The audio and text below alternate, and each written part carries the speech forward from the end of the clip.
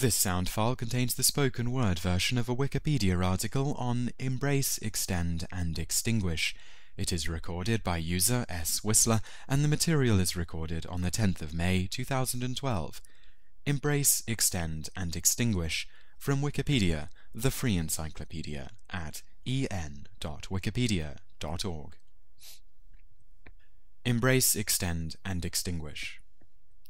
Embrace, Extend, and Extinguish, also known as Embrace, Extend, and Exterminate, is a phrase that the US Department of Justice found was used internally by Microsoft to describe its strategy for entering product categories involving widely used standards, extending those standards with proprietary capabilities, and then using those differences to disadvantage its competitors. Contents 1. Origin 2. The strategy 3. Examples 4. Variant 5. Companies other than Microsoft Origin The strategy and phrase the strategy and phrase embrace and extend was first described outside Microsoft in a 1996 New York Times article entitled Microsoft Trying to Dominate the Internet, in which writer John Markoff said, Rather than merely embrace and extend the Internet, the company's critics now fear Microsoft intends to engulf it. The phrase embrace and extend also appears in a famous motivational song by Microsoft employee Dean Ballard and in an interview of Steve Ballmer in the new by the New York Times. The more widely used variation, embrace, extend, and extinguish, was first introduced in the United States and Microsoft antitrust trial when the vice president of Intel, Stephen McGeady, testified that Microsoft vice president, Paul Maritz, used the phrase in a 1995 meeting with Intel to describe Microsoft's strategy towards Netscape, Java, and the Internet. The strategy's three phases are 1. Embrace development of software substantially compatible with a competing product, or implementing a public standard. 2. Extend. Addition and promotion of features not supported by the competing product or part of the standard, creating interoperability problems for customers who try to use the simple standard. 3. Extinguish when extensions become a de facto standard because of their dominant market share, they marginalize competitors that do not or cannot support the new extensions. The US Department of Justice, Microsoft critics, and computer industry journalists claim that the goal of the strategy is to monopolize a product category. Such a strategy differs from J. Allard's originally proposed strategy of embrace, extend, then innovate, both in content and phrases. Microsoft claims that the original strategy is not anti-competitive, but rather an exercise in its discretion to implement features it believes customers want.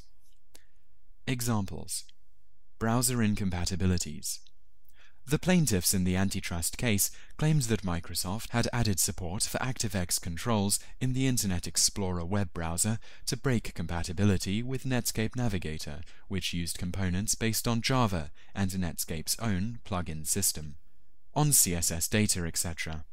A decade after the original Netscape-related antitrust suit, the web browser company, Opera Software, has filed an antitrust complaint against Microsoft with the European Union, saying it calls on Microsoft to adhere to its own public pronouncements to support these standards, instead of stifling them with its notorious embrace, extend, and extinguish strategy.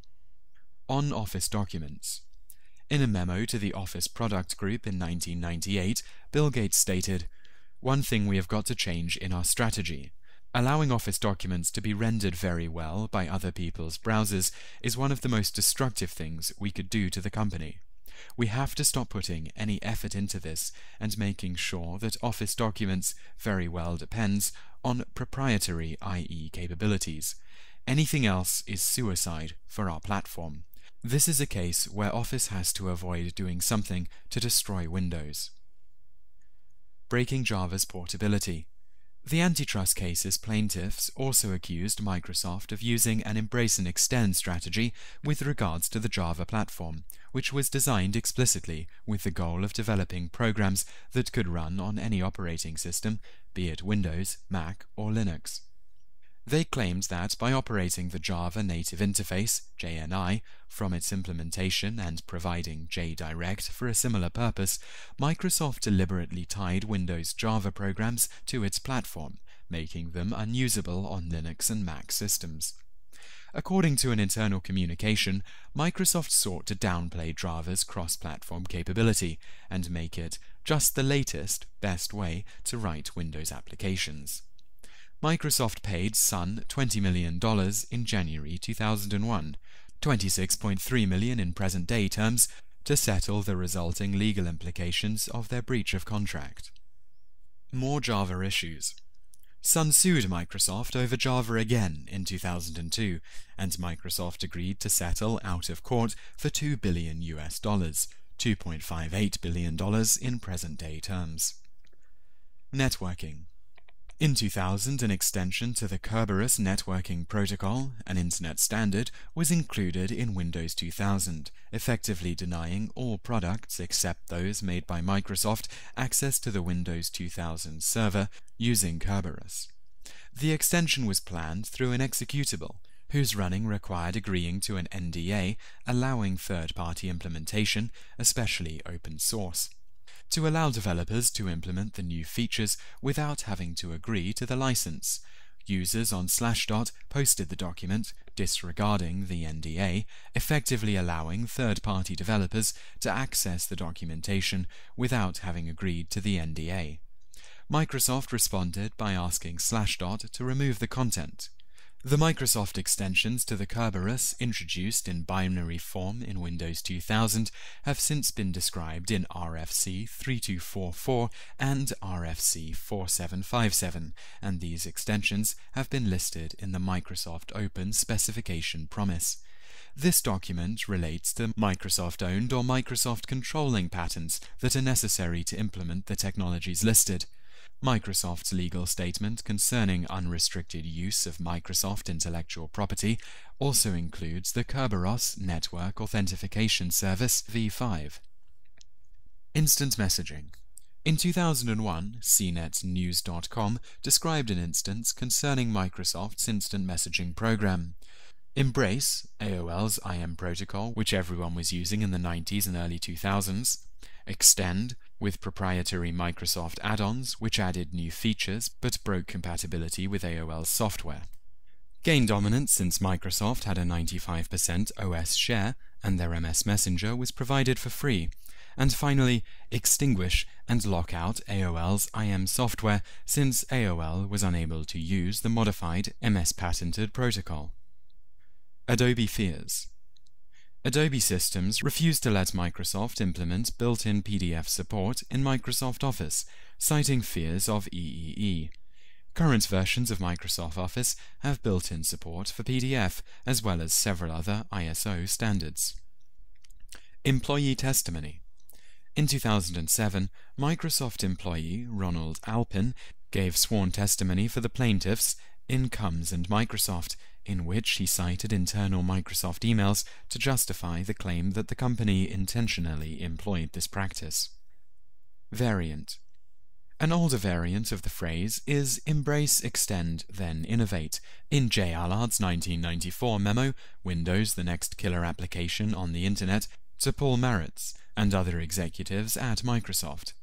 The memo starts with a backgrounder on the Internet in general, then proposes a strategy on how to turn Windows into the next killer app for the Internet.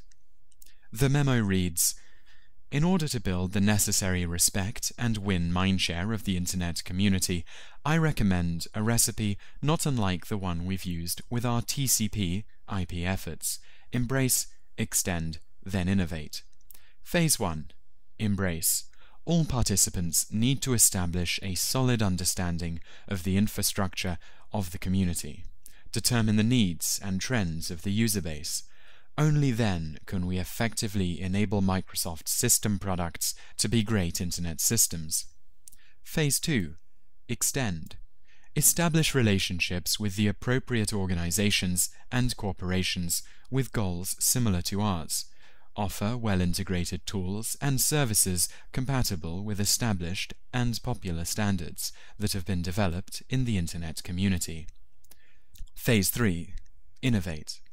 Move into a leadership role with new Internet standards as appropriate. Enable standard, off-the-shelf titles with Internet awareness. Change the rules. Windows become the next generation Internet tool of the future. Companies other than Microsoft. During the browser wars, other companies beside Microsoft introduced proprietary, non-standards compliant extensions. For example, in 1995, Netscape implemented the font tag among other HTML extensions without seeking review from a standards body. With the rise of Internet Explorer, the two companies became locked in a dead heat to out-implement each other with non-standards compliant features. In 2004, to prevent a repeat of the browser wars and the resulting morass of conflicting standards, Apple Inc., maker of Safari, Mozilla Foundation, maker of Firefox, and Opera Software, maker of the Opera browser, formed the Web Hypertext Application Technology Working Group to create open standards to complement those of the World Wide Web Consortium. Microsoft has so far refused to join, citing the group's lack of patent policy as the reason.